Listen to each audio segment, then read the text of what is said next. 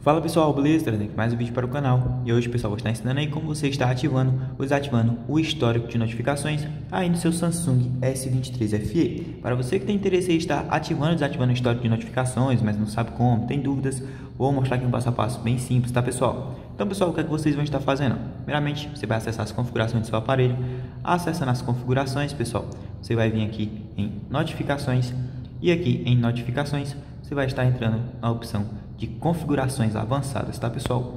Clicando em configurações avançadas, você vai ter acesso a várias opções e uma das opções é o histórico de notificações. Então você pode estar clicando nela. Aqui, pessoal, pode ver que está ativado, então ele vai mostrar todas as notificações aí recentes do meu dispositivo. Então, caso você queira estar desativando o histórico de notificações, só você está desativando essa chavinha. Ele vai apertar se você deseja estar desativando o histórico de notificações. Se você quiser, clique em desativar novamente. Caso você queira estar ativando o histórico de notificações de novo, só dê um clique ó, e automaticamente ele já ativa aí o histórico de notificações. Então pessoal, é basicamente esse o vídeo, tá? Só um passo a passo aí bem simples de como você está ativando ou desativando o histórico de notificações. Espero ter ajudado. Se você gostou do vídeo, deixe seu like, tamo junto e até a próxima.